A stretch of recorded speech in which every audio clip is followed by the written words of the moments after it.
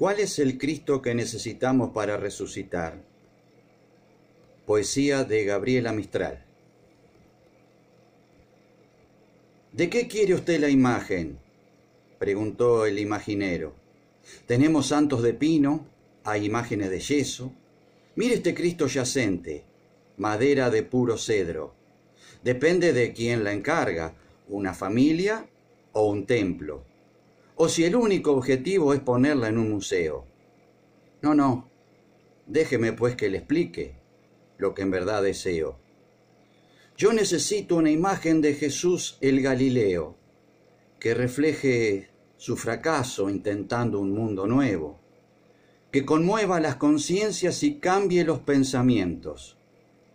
Yo no la quiero encerrada en iglesias y conventos, ni en casa de una familia para presidir sus rezos no es para llevarla en andas, cargada por costaleros. Yo quiero una imagen viva de un Jesús hombre sufriendo, que ilumine a quien la mire el corazón y el cerebro, que den ganas de bajarlo de su cruz y del tormento, y que quien contemple esa imagen no quede mirando un muerto, ni que con ojos de artista solo contemple un objeto, ante el que exclame admirado, qué torturado más bello. Perdóneme si le digo, responde el imaginero, que aquí, no, aquí no hallará seguro la imagen del Nazareno.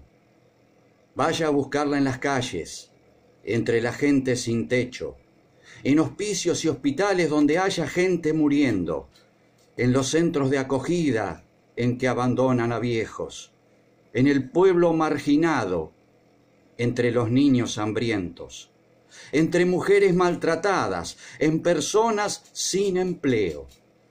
Pero la imagen de Cristo no la busque en los museos, no la busque en las estatuas, en los altares y templos, ni siga a las procesiones los pasos del Nazareno.